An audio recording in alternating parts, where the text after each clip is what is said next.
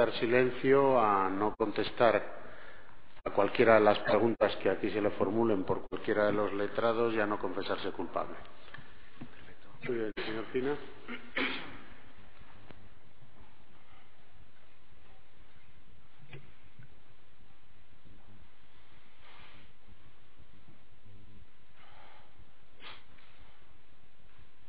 Con su venia, excelentísimo señor.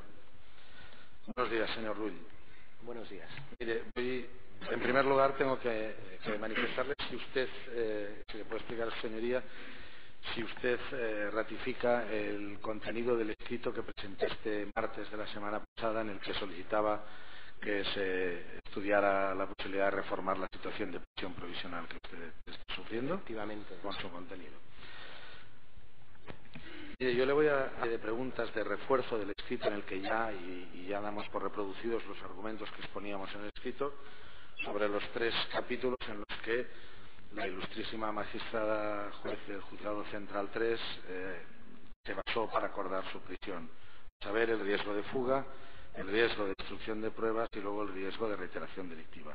Hacemos estos tres bloques, que es lo que se tiene que ceñir el acto presente según nos ha manifestado su señoría.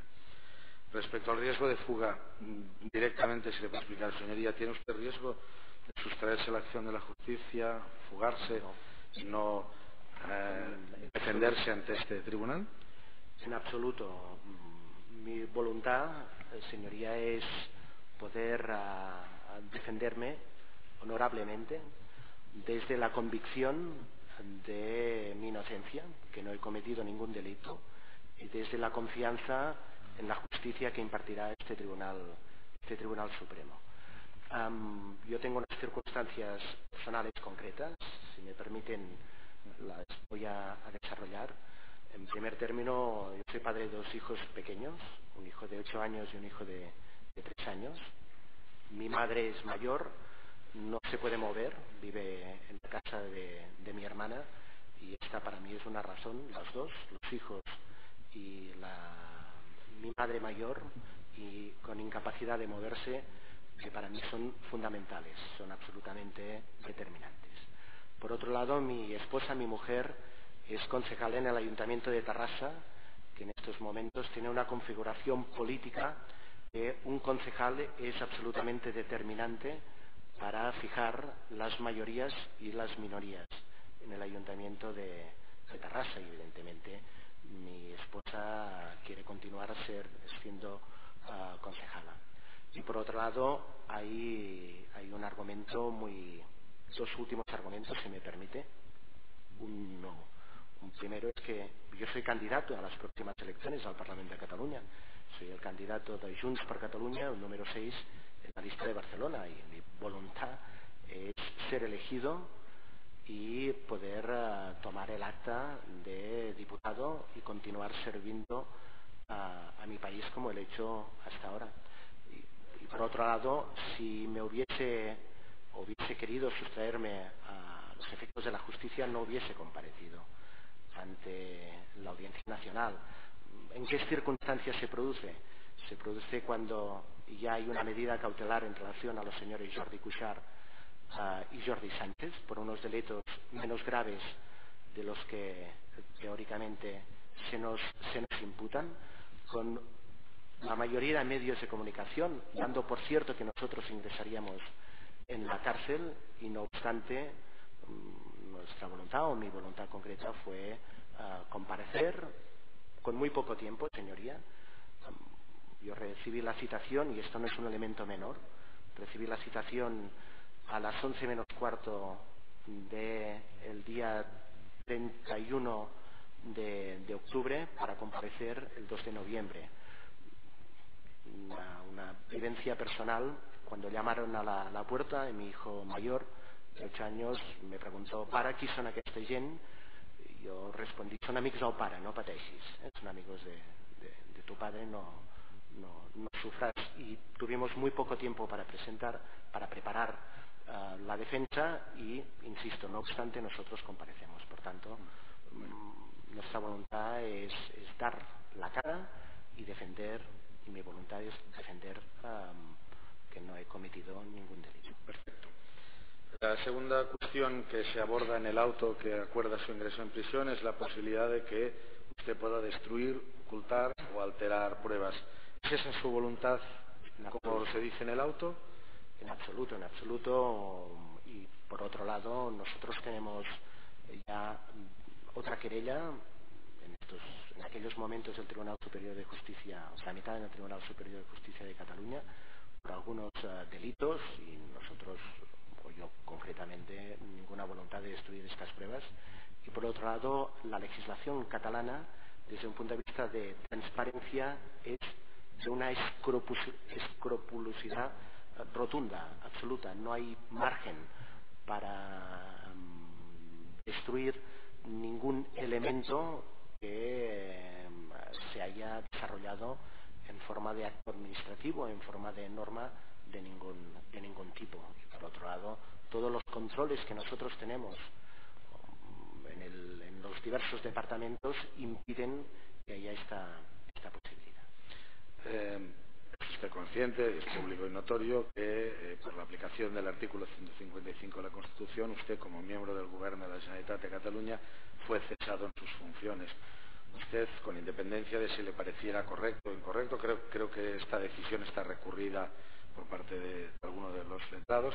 Con independencia de esto, ¿fue efectivo ese cese en sus funciones? ¿Usted dejó eh, de continuar yendo a la Consellería de Territorio y Sostenibilidad?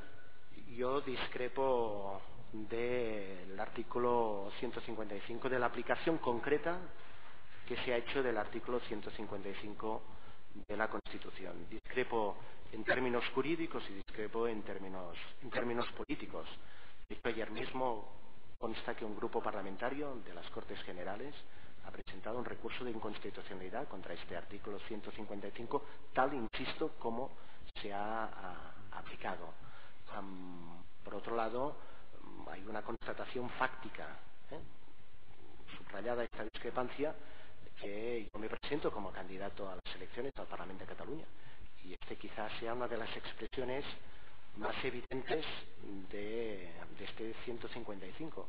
Por tanto, digamos, los hechos concretos pues apuntan que evidentemente pues estamos en este, en este escenario vamos a presentar estas elecciones con la voluntad de poder enmendar esta aplicación del 155 de la cual discrepamos, pero fácticamente mm, mi candidatura a Junts per Cataluña yo creo que ya acredita que estamos en un escenario diferente. Queda claro que evidentemente la, presentación a unas elecciones democráticas convocadas por el presidente de gobierno el día 21 de diciembre, explícita, implícitamente llevan conllevan que usted acepta que se le cesara en su cargo y que ya dejara de ser conseller. Yo tengo que preguntarle, obviamente, respecto al último capítulo, que es la posible reiteración delictiva por los hechos que se están investigando y que pudieran volver a ocurrir en un futuro, que es algo que alarma a la juez de instrucción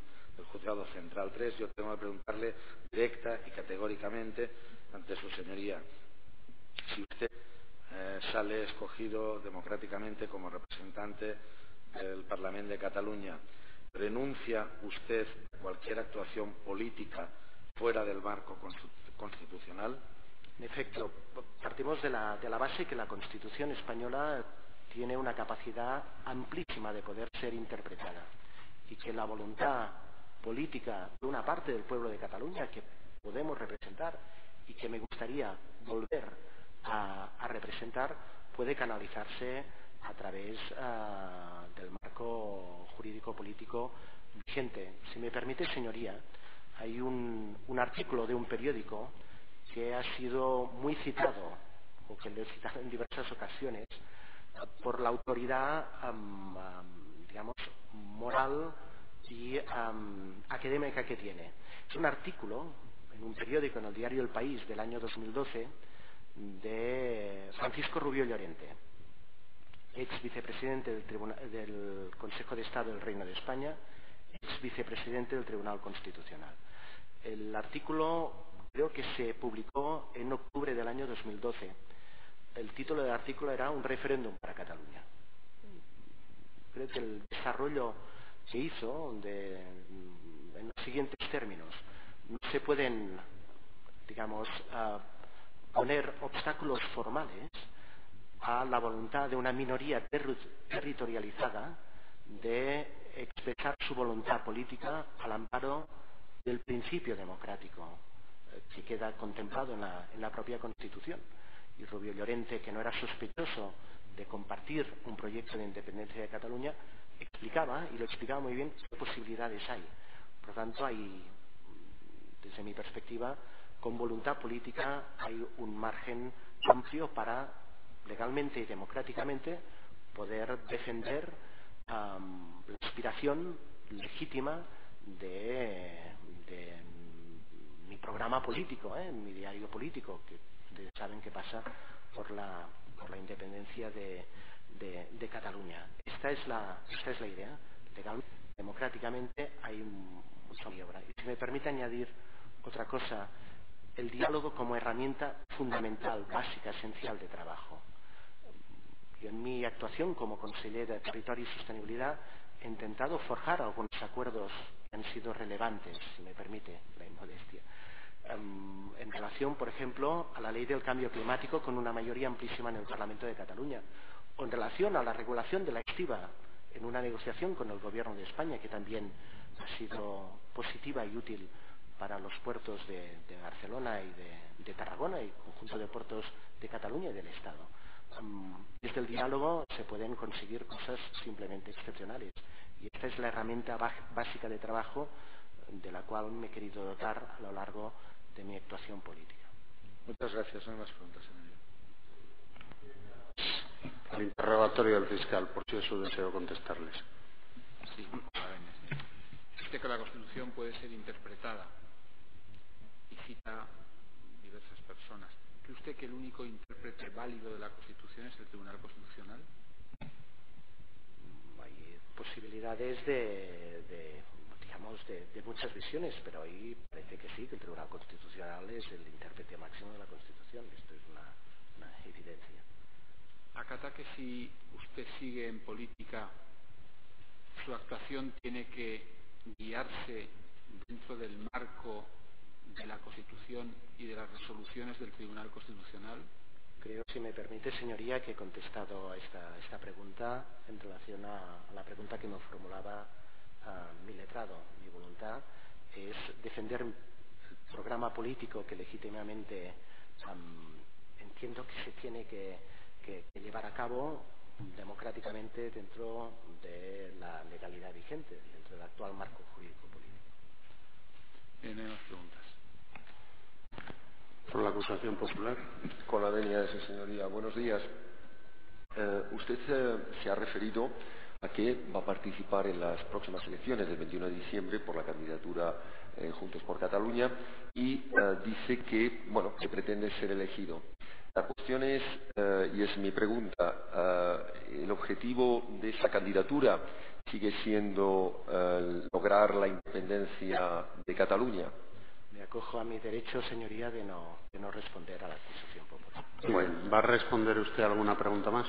De, procedente de la acusación popular, digo. No. Muy bien. Formule las preguntas para que queden en constancia. Con la venia de su señoría, usted ha dicho que mm, la Administración y especialmente la Generalidad eh, llevaba consigo una eh, transparencia eh, exquisita en cuanto a las pruebas y documentos.